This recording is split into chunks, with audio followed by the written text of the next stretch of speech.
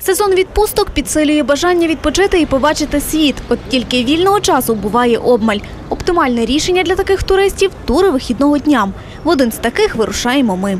Маршрут Тернопіль, Величка, Краків, Тернопіль. Виїзд з Тернополя вечір п'ятниці. Наступного разу рідне місто побачимо у понеділок вранці. Кожному з туристів по пакунку з необхідною інформацією, картою Кракова та польським стартовим пакетом. Інструктаж від супроводжуючого групи і в дорогу. Екскурсія буде тривати близько трьох годин. Близько дев'яти виїжджаємо із готелю, їдемо до центру Кракова. Ранок суботи почався вже у Польщі. Перша ознака того, що ми за кордоном дороги. Покриття ідеальне, розмітка бездоганна, знаків вдосталь, постів автоінспекторів жодного. Це найперше відчувають водії. Багато інформації на знаках, е, досить розмітка вночі немаловажно, як обочина, досить все розмальовано.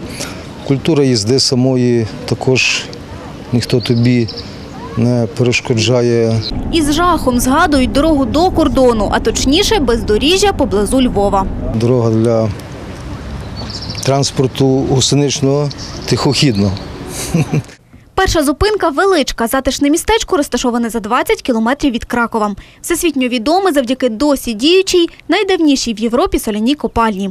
На перший погляд це екскурсійне місце нагадує Вавилон, проте не будівлями, а туристами різних національностей.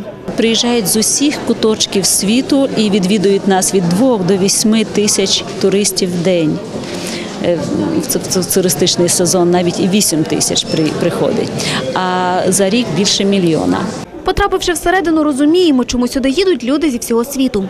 Поступово опускаємось на глибину 135 метрів. Екскурсійний маршрут підземна траса довжиною 3 кілометри. І це лише 1% від загальних підземних шляхів. Численні камери, порожнини, власноруч зроблені шахтарями-солокопами, розповідають про історію соляної копальні. Серед них чимало каплиць. В одній з них, названій іменем Кінги, покровительки шахтарів-солокопів, і нині проходять недільні відправи.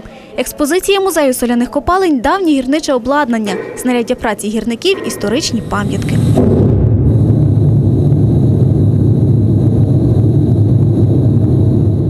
Люди приїжджають сюди не лише на екскурсію. Мікроклімат підземелля лікує бронхіальну астму, хвороби дихальних шляхів та серцево-судинної системи. Варто відвідати соляну купальню Велічка, адже це дуже цікавий е, туристичний об'єкт, а також вагомий внесок в історію Кракова за часи середньовіччя за видобуток солі відбудовувалося це місто.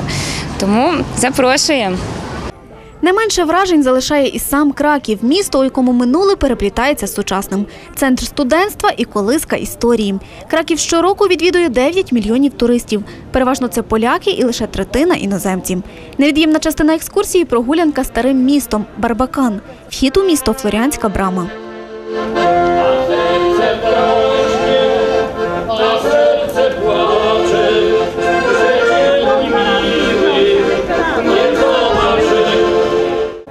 Далі вулиця Флоріанська, Ринкова площа, вулиці Гродська та Канонічна. Власні легенди та перекази має чи не кожна вуличка, старовинна будівля, синагога, пам'ятник, кам'яниця та палац.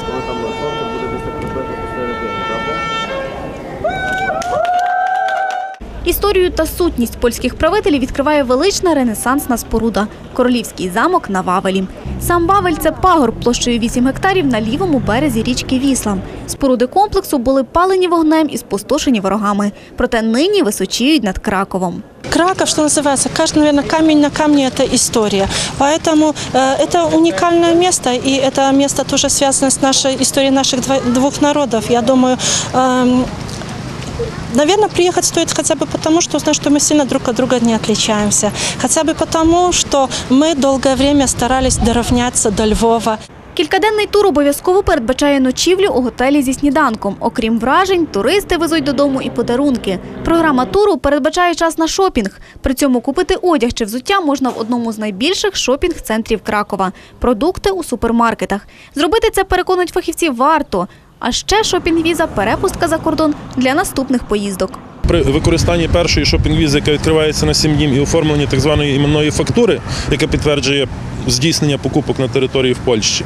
Е, Консульство після того відкриває наступну візу до року часу перебування, тобто 80-60 днів перебування на протязі року. Тобто власники шенгенвіз діючих можуть після цього скористатися якимись гарячими пропозиціями відпочинку на морі, будь то Греція, будь то Болгарія, будь то Іспанія, будь то Кіпр. Тобто ви маєте діючу річну шенгенвізу і просто ловите момент. Я вже другий раз їжджу е, в тур Краків, іменно в Краків. Це старовинне місце, там дуже цікава історія, дуже гарно розповідають. І практично я другий раз була, і м, другі екскурсоводи, другі гіди вели ту програму.